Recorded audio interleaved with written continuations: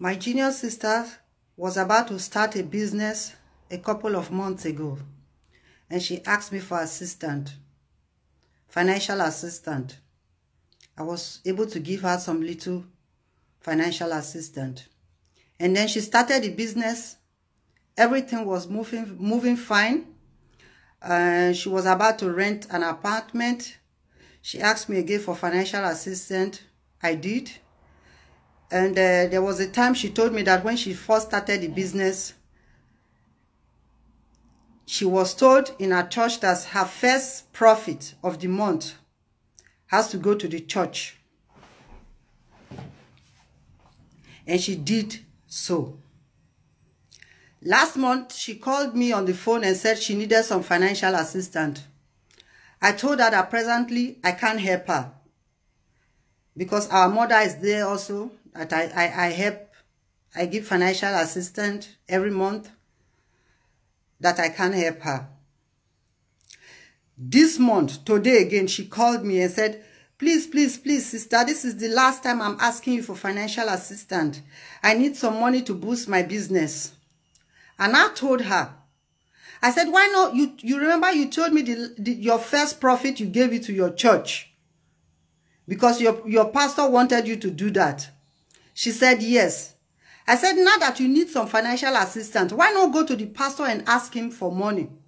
Yes, it's not, she, she now said it's not the pastor that, that the church where I used to go every month, but it's our general overseer. I said, who is your general overseer? He said, Pastor Adeboye.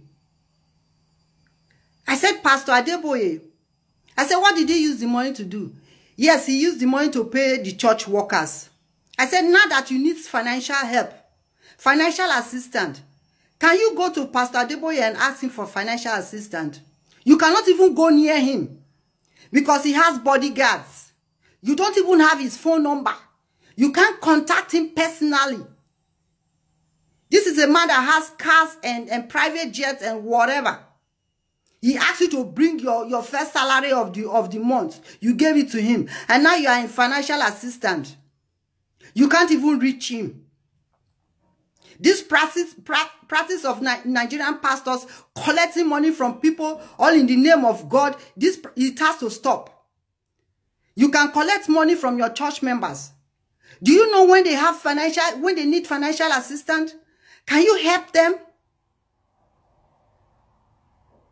Do they know how their members survive day to day? This my junior sister need now financial help. Where is this pastor to help her?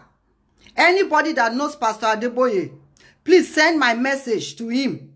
This girl needs some financial assistance. If he can receive from her, he can also give to her. He should give her some financial assistance. If they need my number, they need my sister's number, anybody that is able to contact Pastor Adeboye and they need her, my sister's number, I will send. Or the rich members of the church, they should help her.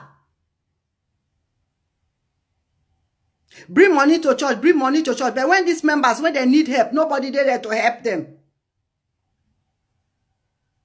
Here in Europe, if I work every month, my husband and I work every month, we have to pay our our our house rent, our our electricity bill, telephone bills. If, if, if my first work, I use my salary to to to I give my salary to the church here, I would have been able to pay my my house rent or my my my my, my electricity bill. The system in Nigeria is wrong. It has to stop. All these pastors, you people should stop collecting money from your church members, all in the name of God. And when these members, they need help, there's nobody there for them. Nobody to help them.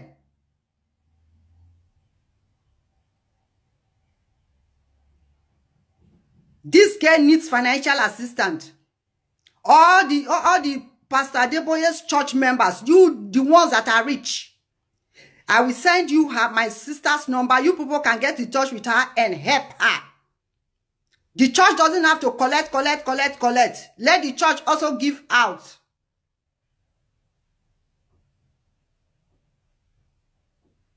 The Catholic Church here, they are working hand in hand with the Red Cross. They are helping people. I don't know what Nigerian churches are doing. I don't know what the pastors are doing. Big jets, uh, private jets, uh, their own cars, bodyguards. How can a pastor have a bodyguard? I thought there is God there to protect you. His angels are there to protect you. What do you need bodyguards from? That your ordinary church members cannot even come close to you and ask you for help.